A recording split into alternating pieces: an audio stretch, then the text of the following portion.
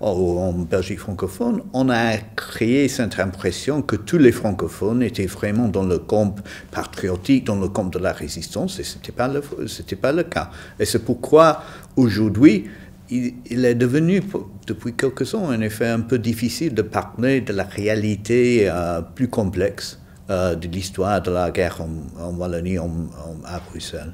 La conscience wallonne, comme on pourrait dire, n'existait pas euh, en effet pendant la Deuxième Guerre mondiale. C'est vraiment quelque chose qu'on a créé après la guerre pour expliquer les actions des francophones. Donc, à mon avis, ce n'est pas tellement un tabou, c'est plutôt une, attitude qui s'est installée dans les têtes pendant ces derniers ans. Et c'est bien qu'en effet, on parle finalement euh, de la réalité de la collaboration en Belgique francophone ainsi qu'en Flandre. La réalité, c'est qu'il y a pas mal de, de, familles en Belgique contemporaine qui ont toujours honte des choix qui ont été faits pendant la Deuxième Guerre mondiale.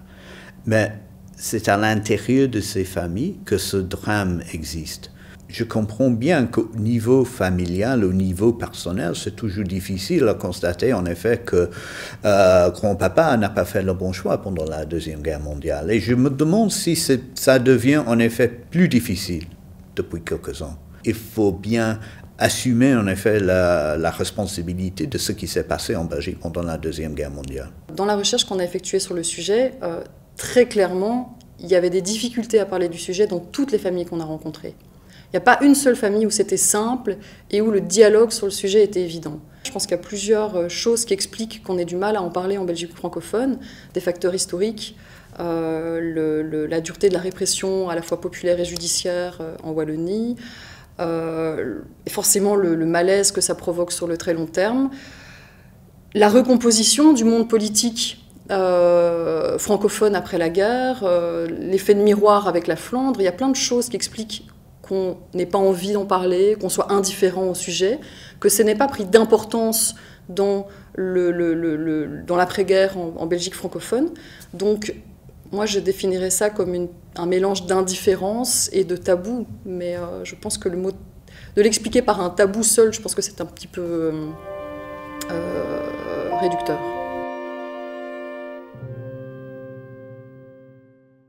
Als je in het, in het buitenland gaat vragen noem eens een Belgische collaborateur op, dan gaat men in het buitenland maar één iemand noemen, en dat is Leon de Grel. De enigste bekende collaborateur uit België in het buitenland is Leon de Grel.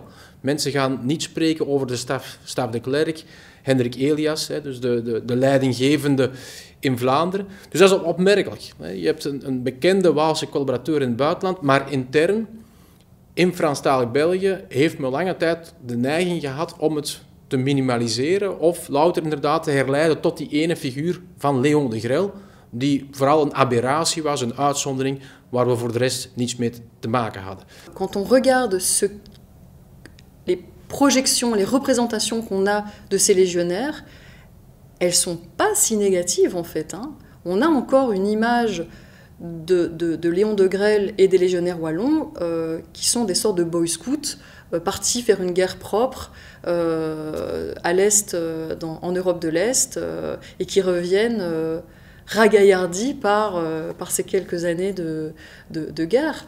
Et, ça, je trouve, c'est... Si vous demandez à quelqu'un de citer un livre sur, la, sur, la, sur le front de l'Est, beaucoup de gens vont vous citer les mémoires de Léon de Grelle. Et donc, étrangement, on est empreint de, de, de, de la vision. On, perçoit la Légion Wallonie à travers les yeux de ces légionnaires et la façon dont ils sont eux-mêmes représentés après la guerre, dont ils, ont, dont ils se sont racontés après la guerre, comme justement ces boy scouts combattre le bolchevisme sur le front de l'Est. Et on parle toujours du phénomène de Krell, mais il ne faut pas oublier aussi qu'il y avait des milliers de gens autour de lui qui ont fait le même choix. Il y avait aussi, il faut le souligner, pas mal de rexistes, d'anciens rexistes pendant, avant la guerre, qui n'ont pas choisi la, collaboration. Ils ont choisi plutôt la résistance ou l'attentisme pendant la guerre. L'idée qu'un parti, un nouveau venu, dirigé par quelqu'un de jeune, hein, De Grelle est né en 1906, il a 30 ans, à une époque où les hommes politiques, je dis les hommes parce que les femmes politiques à l'époque c'est quasiment inexistant, les hommes politiques sont plutôt des gens vieux qui ont 50, 60 ans. Et, donc quelqu'un de jeune qui a un autre discours, qui va leur parler, hein, qui va utiliser le meeting. Donc il est véritablement dans une espèce de, dialogue avec son public, ses adhérents, euh, des gens qui sont eux aussi jeunes et qui ne se reconnaissent pas dans les partis traditionnels et qui vont voter pour ce qui est un mouvement qui est en train de devenir un parti. On est aussi dans un contexte d'une crise dont on, ne voit pas l'issue, dans un monde qui, sur le plan international, bascule. Il ne faut pas oublier non plus la peur du communisme, qui est quand même quelque chose de très présent dans ces années 30 et qui fait peur à une certaine partie du monde catholique. 1936, c'est aussi le début de la guerre d'Espagne. Donc c'est un monde qui est un petit peu en train de vaciller. Et donc, on va avoir tous ces électeurs qui vont se sentir attirés par ce nouveau discours, par une forme de modernité, hein, osons le mot, la manière dont De Grelle s'adresse à ses électeurs, il y a une forme de modernité. Et donc, beaucoup de gens par la suite diront, eh bien oui, en 1936, j'ai voté De Grelle, parce que c'était l'espoir d'un changement, l'espoir d'un renouveau. Et donc, on a vraiment l'impression, avec ces élections, qu'on va pouvoir changer quelque chose. Les électeurs rexistes en sont convaincus. C'est aussi la période où on va voir arriver en Belgique euh, pas mal de, communautés juives qui viennent à la fois de pays où elles fuient euh, les pogroms, hein, qu'il s'agisse de la Pologne, qu'il s'agisse de la Bessarabie, mais aussi très rapidement après euh, des communautés juives qui nous viennent d'Allemagne, qui sont assez différentes dans leur profil sociologique. Mais donc, on se retrouve à la veille de la Seconde Guerre mondiale en Belgique avec une communauté juive dont 90% n'a pas la nationalité belge et dont l'immense majorité sont des immigrés de fraîche date. On est par ailleurs dans un contexte de crise économique et une partie des classes moyennes se sent particulièrement fragilisée. Hein. je songe en partie euh, à tout ce qu'on appelle les petits commerçants. Or, ces populations juives amènent avec eux d'autres traditions, par exemple en matière de commerce. Et donc, il va y avoir de la part de ces petits commerçants des réactions extrêmement vives contre euh, ces commerçants juifs qui pratiquent encore, qui ne pratiquent pas le prix fixe, par exemple, hein, tous les, colporteurs. Et donc, il y a là deux mondes euh, qui vont effectivement s'entrechoquer. Au sein du mouvement rexiste, on a un caricaturiste extrêmement redoutable qui s'appelle Alidor, Paul Jamin, qui va, euh, je dirais, exploiter cet antisémitisme dans une caricature particulièrement performante. Et donc on va voir dans, dans le pays réel, semaine après semaine, des caricatures d'un Paul Jamin qui n'hésite pas à caricaturer le juif, un peu à l'image, je dirais, de, clichés antisémites qu'on connaît bien, euh, le juif qui, est, plein aux as, le juif qui contribue à déstructurer euh, les, structures euh, familiales, les structures traditionnelles, le juif qui est cosmopolite, alors qu'on est dans, un, dans, dans une période aussi où le discours nationaliste est assez fort. Donc le juif qui incarne l'opposé des valeurs et qui est considéré comme l'ennemi dans un général où cet antisémitisme, bien entendu, est installé de manière tout à fait légale par un arsenal législatif en Allemagne, mais s'enracine également dans un antisémitisme traditionnel euh, que l'on connaît bien dans le monde catholique. Donc ce discours, je dirais, il s'enracine dans un fond qui dépasse largement le milieu rexiste. Le gros coup d'accélérateur, en fait, au niveau de l'antisémitisme, de l'antimaçonnisme virulent, c'est sous l'occupation pour Rex. C'est à partir de 1940. La Belgique est véritablement hébétée. Hein, on est dans un, contexte où euh, il y a eu l'invasion, un million et demi à deux millions de Belges ont pris la fuite, ont tenté d'échapper à la guerre, sont en train de rentrer, hein, puisque l'armée belge a capitulé le, 28 mai 1940. La Belgique a ceci de particulier qu'on a déjà connu une invasion allemande et une occupation allemande, et que la dernière occupation a été extrêmement traumatisante et que la population craint absolument le retour des atrocités de 14. Et donc on a l'exode et finalement, on a l'impression que cette fois-ci, on a un autre occupant, un occupant qui est discipliné, un occupant d'ailleurs qui, là où il s'arrête et s'embourbe dans la plaine de l'Isère en 14, cette fois-ci, anéantit l'armée française, donc il pulvérise finalement les attentes. C'est aussi un occupant qui est extrêmement attentif à son image et qui, dès mai 40, va à tout prix éviter de tomber dans le panneau dans lequel ils sont tombés en 14, c'est-à-dire de prêter flanc à des accusations d'atrocité, d'irrégularité. Donc, euh, très clairement, euh, non seulement on veut donner l'impression d'une armée disciplinée, d'une occupation correcte, et ça crée une atmosphère psychologique qui est favorable à la collaboration. C'est les syndicats c'est tous les syndicats qui vont euh, s'engager dans l'UTMI, donc dans le projet d'un nouveau syndicat unitaire de l'ordre nouveau. Donc euh, le Parti socialiste, le mouvement syndical, euh, on peut d'ailleurs dire la grande figure de la résistance patriotique en 14-18, le cardinal Mercier, qui fait un appel, Noël, son appel de Noël 14, qui est d'une combativité extraordinaire. Ben, où est l'Église en 40 Donc l'Église, syndicat, euh, le Parti socialiste, le Parti catholique, euh, il n'y a pas de sursaut de ce côté-là. Il n'y a pas de, posture forte.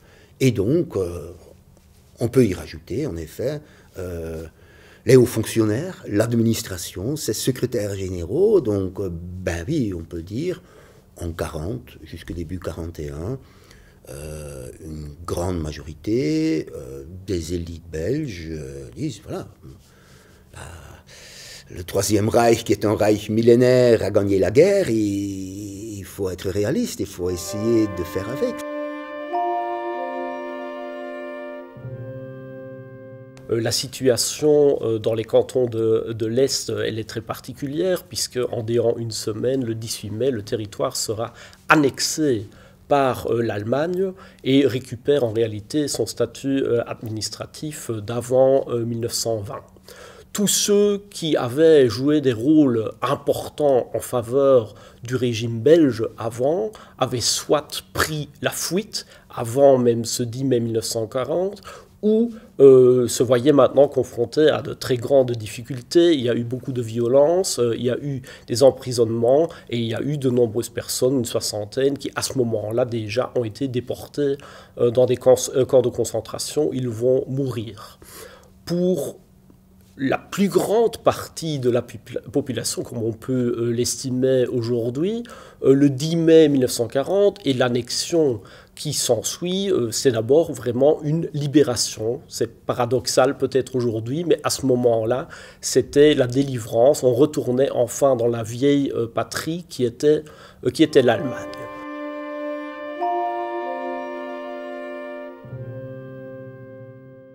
À ce moment-là, la population se sent quelque peu abandonnée par son gouvernement. Hein. le gouvernement belge, à ce moment-là, est en France et lui-même a une attitude un peu hésitante, donc on a l'impression que le gouvernement a abandonné la population. Et donc, quand le gouvernement décide de s'exiler en France, fait exactement comme en 14, on s'exile au Havre, sauf que en 14, c'est euh, le roi Albert avec son gouvernement qui s'installe au Havre. Euh, en 40, Léopold décide de rester dans le pays. C'est euh, extrêmement mal vécu par les Britanniques qui, euh, tout au long de la vie de Léopold, jusqu'au dénouement de la question royale, vont considérer Léopold comme un traître, comme un fasciste, qui a finalement mis ses corps expéditionnaires britanniques dans une situation extrêmement difficile. Parce que voilà, nous, on est venu vous secourir, et vous n'avez même pas attendu qu'on ait pu euh, correctement organiser notre retrait pour que vous jetiez déjà les armes. Donc, euh, fin mai, la décision de Léopold euh, est, très critiquable, est critiquée sur un point international, sauf que le gouvernement n'a pas vraiment l'occasion de prendre une posture cohérente, combattante, euh, héroïque, parce que euh, elle, subit la déroute de l'armée française. Donc il n'y a pas un seul moment où le gouvernement peut vraiment reprendre son souffle, s'installer, communiquer avec la population dans le pays occupé, se retrouvent à Bordeaux, où voilà, l'armée française est en débandade, ils sont totalement pris de court, évidemment, par après l'armistice et, la déclaration de, de, Pétain, le fait que la Troisième République française se saborde de l'Assemblée nationale donne l'investiture à Pétain, tout cela n'est pas du tout prévu. Et l'image qu'on a construite a posteriori d'un gouvernement euh, résolu, combatif, s'est retiré en France et aussitôt a regagné Londres, on sait que c'est beaucoup plus compliqué que ça. Que euh, eh ben, plusieurs ministres ont tenté de rentrer au pays, où du coup ils n'étaient plus les bienvenus. Euh, ils avaient en effet fin mai sévèrement critiqué Léopold III, ce qui avait été très mal vécu par une partie de la population, qui avait interprété ce geste de Léopold comme en effet, euh, il prend ses responsabilités, il reste avec ses soldats, sans comprendre déjà à l'époque que derrière il y avait aussi tout un autre projet politique euh, que Léopold III avait. Mais donc, finalement, à la fin de l'été 40, il n'y a plus de gouvernement belge. Il y a des ministres qui se baladent. Des ministres qui vont passer des mois au Portugal, en Espagne. Euh, euh, et, finalement, euh, on peut même dire, c'est en partie, un peu par opportunisme, que les premiers membres du gouvernement belge vont se retrouver à Londres parce qu'ils comprennent que si il n'y a plus personne dans le cockpit, eh ben, les Britanniques vont saisir la colonie. On n'aimait pas en Belgique, on aimait guère en Belgique occuper les Londoniens. On avait l'impression que c'était des gens qui ont fui le camp en, en 40. c'est la population bloquée en Belgique occupée qui doit assumer les conséquences. Contre eux, il y avait bien sûr les collaborationnistes, mais contre eux aussi, il y avait les royalistes, les léopoldiens, et contre eux, il y avait aussi euh, les mouvements de la résistance, au pluriel, en Belgique. Et donc, le gouvernement en Belgique, euh, à Londres était vraiment le camp minoritaire pendant la guerre. Pour une partie des rexistes, euh, qui sont des nationalistes belges, embrasser un, envahisseur allemand ne va pas du tout de soi. Léon de Grelabo s'agitait comme un beau diable dans un bénitier il ne parvient pas à se faire prendre au sérieux, aussi bien par les tenants de l'establishment traditionnel, qui ne veulent pas servir sous les ordres d'un chef tel Léon de Grelle, et les Allemands eux-mêmes ne le prennent pas tellement au sérieux, parce que les Allemands misent essentiellement sur les Flamands et sur les nationalistes flamands du Vlaams National Verbond. Pour eux, les Wallons, c'est un peuple étranger, francophone, supposément viscéralement hostile à l'Allemagne. N'y a pas grand-chose à en tirer de bon, ni des Wallons, ni des Rexistes. À l'été 1940, le discours d'Hitler est très clair, favoriser autant que possible les Flamands. Et on va d'ailleurs, dans la foulée, libérer les prisonniers de guerre flamands. Donc le premier interlocuteur naturel dans la collaboration, ce ne seront pas les rexistes, mais ce seront les nationalistes flamands. Et donc, pour les rexistes, la question va être comment exister politiquement? Comment faire en sorte que nous aussi, nous puissions participer à ce nouvel exercice du pouvoir? Et donc, il ronge son frein en quelque sorte. Donc, il va, ça va prendre du temps pour que le parti rexiste devienne véritablement un interlocuteur légitime aux yeux des Allemands. À partir de ce moment-là, il fallait faire un choix.